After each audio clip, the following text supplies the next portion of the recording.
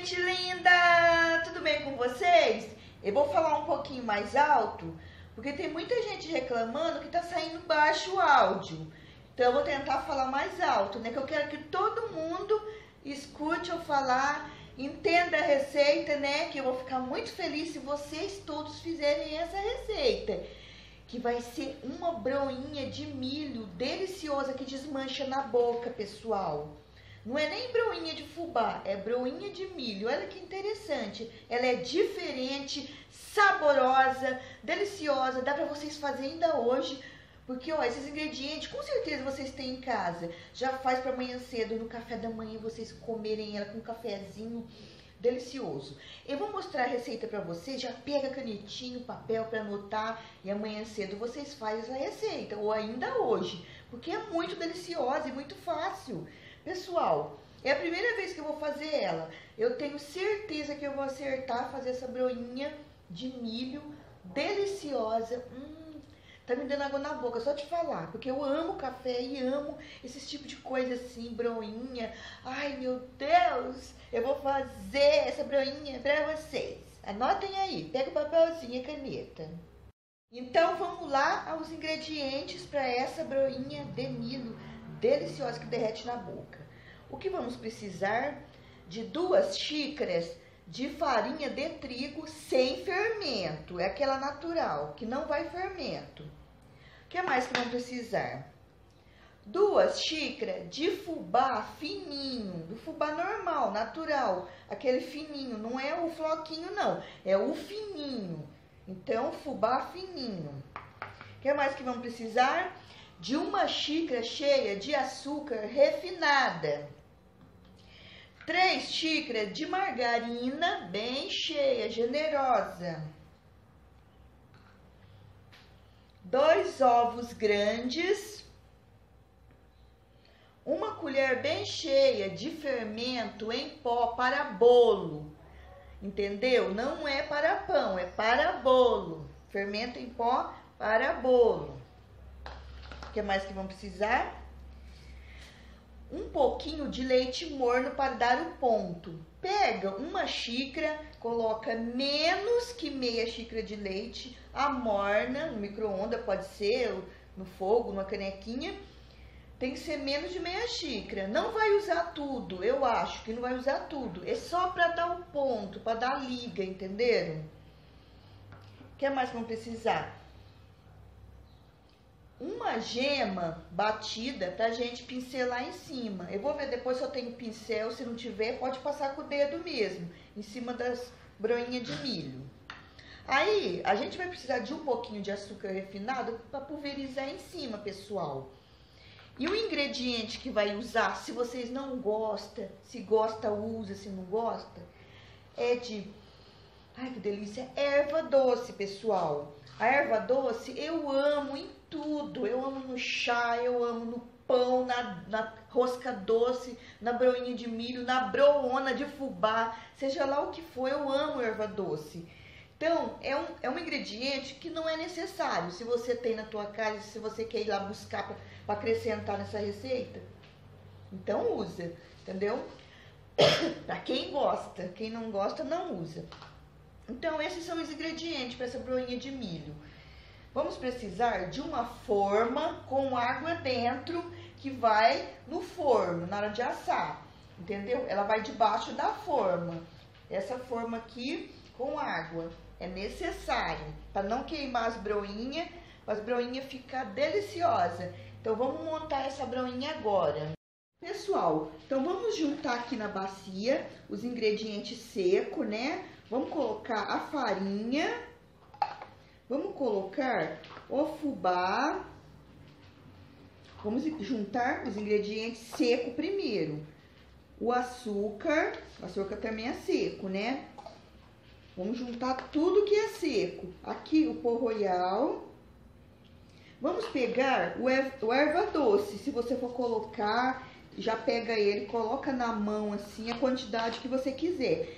Esfrega o erva doce assim para para dar um aroma delicioso nessa farinha aqui, ó.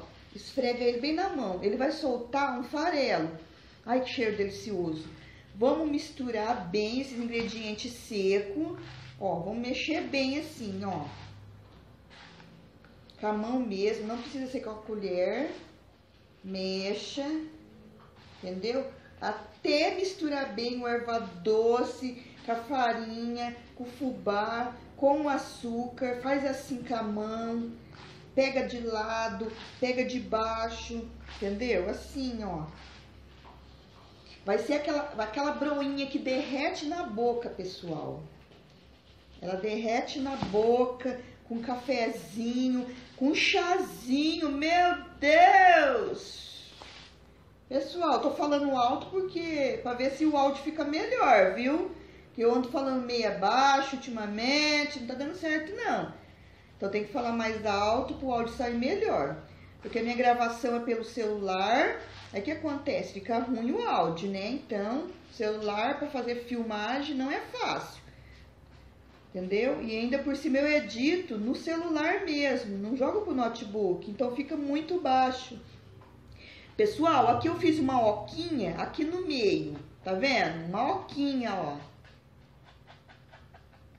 Pronto, fez um buraquinho, né? Agora o que eu vou fazer aqui nesse buraquinho?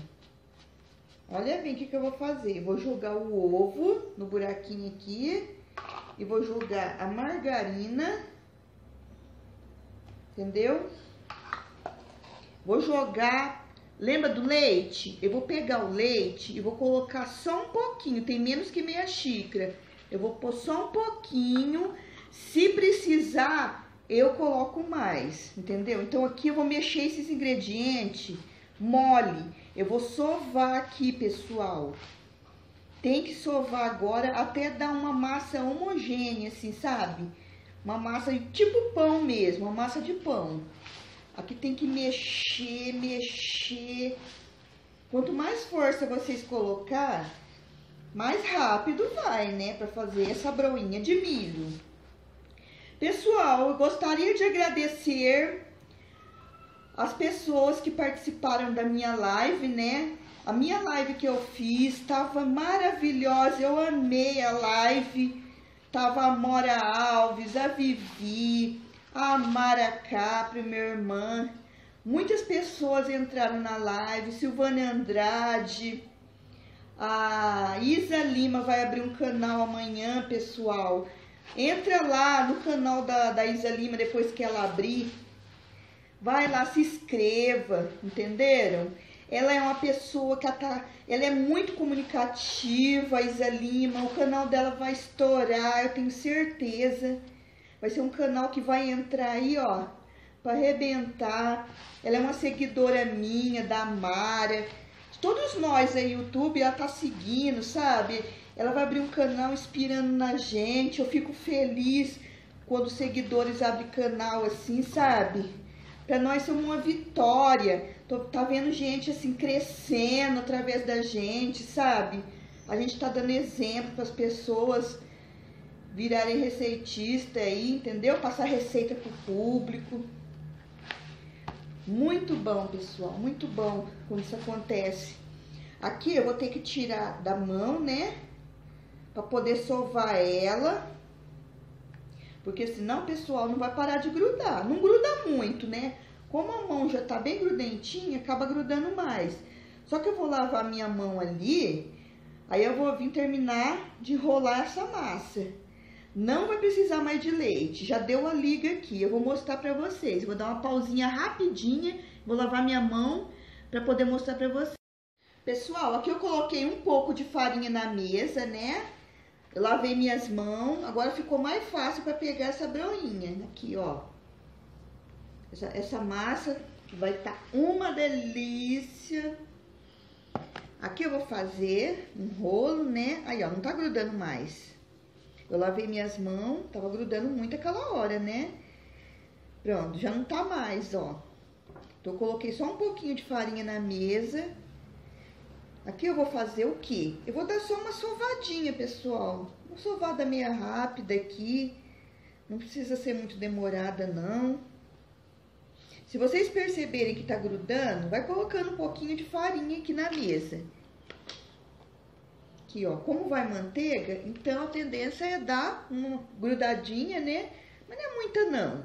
Só com um pouco de farinha que vocês colocar, já dá uma parada. Aí, pronto, já melhorou. É broinha de milho que derrete na boca, pessoal. Mas não põe muita farinha não, senão depois passa do ponto, aí não fica muito bom não. Então aqui eu vou dar uma sovada. Esses ingredientes ficar bem gostoso, né? Na hora de fazer a broinha. Aí daqui a pouquinho eu volto para mostrar para vocês como que eu vou fazer essas broinhas aqui. Aqui eu dei uma sovadinha só uns dois minutinhos. Aí eu fiz uma minhoquinha comprida assim, pra, pra mim poder cortar, ó. Assim. Aí como que eu vou cortar? Ah, eu vou cortar, eu vou ver um tamanho que eu acho melhor, mais ou menos assim, ó. Mais ou menos assim. Eu vou dar uma boleada, né? Vocês sabem bolear, né? Faz uma bolinha do jeito que dá aí pra vocês fazer assim, ó. Mais ou menos desse jeito aqui, ó. Dá uma achatadinha, porque broa geralmente não é redonda, né? Ela é meio achatadinha.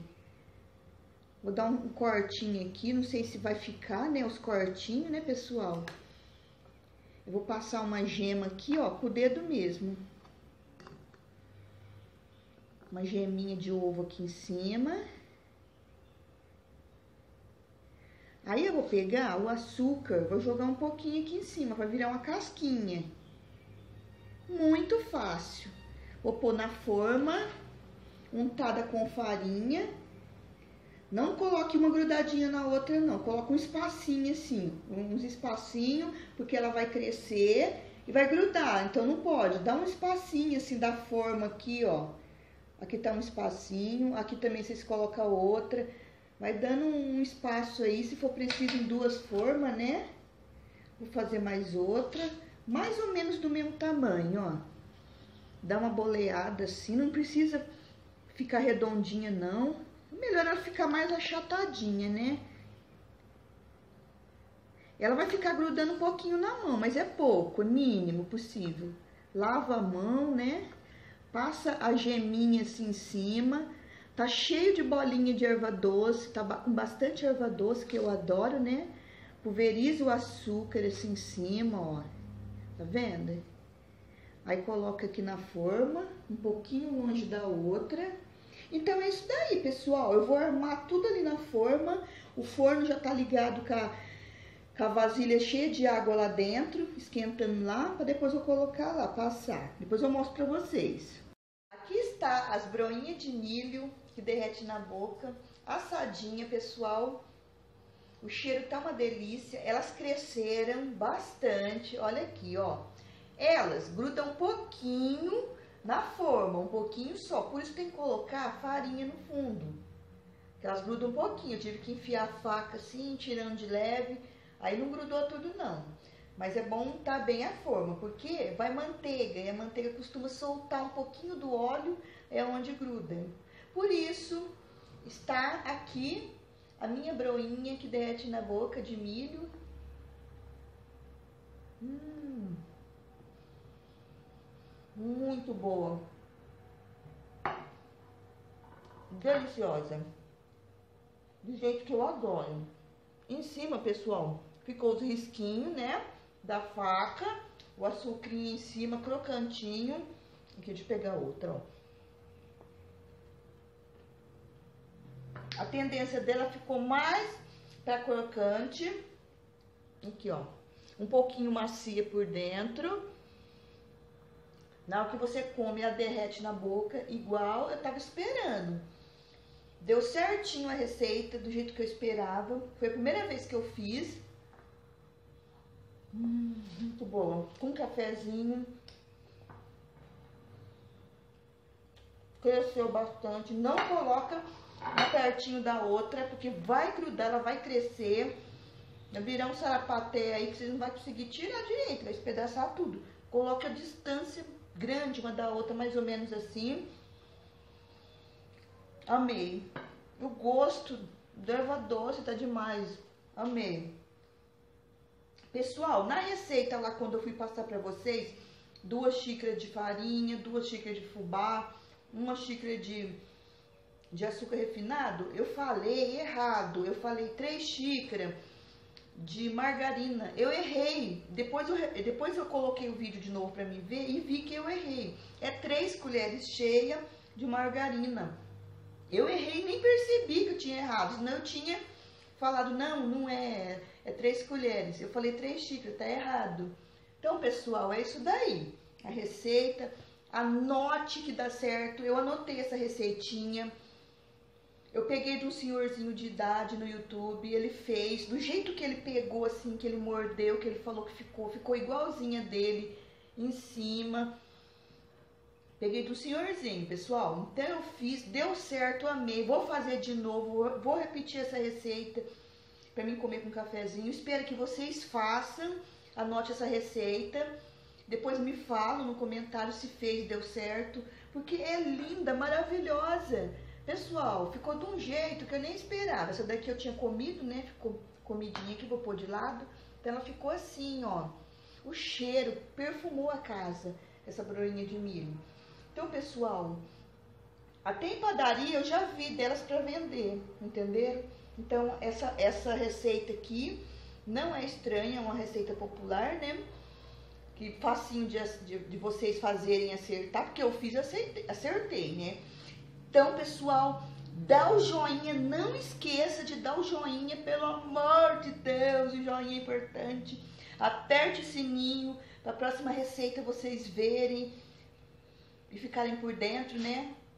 Se inscreva no meu canal, rumo aos 2 mil inscritos, né? Já vai dar quase 2 dois, mil inscritos aí. Já fiz minha camiseta, pessoal. Amanhã vou estar com a minha camiseta do meu banner escrito Bem Viver com Fabiana Caprio, né? Porque é rumo a 2 mil inscritos, faz já dois meses que eu tô com o meu canal, né? Então tô feliz, tô feliz que vocês estão estão me seguindo, estão fazendo ótimos comentários, estão me ajudando, me dando força para me continuar com o meu canal, né? Espero que vocês gostem mais ainda das próximas receitas, né? Então vou ficar por aqui, ó. Um beijo, um abraço e um bem viver para vocês, pessoal. Hum.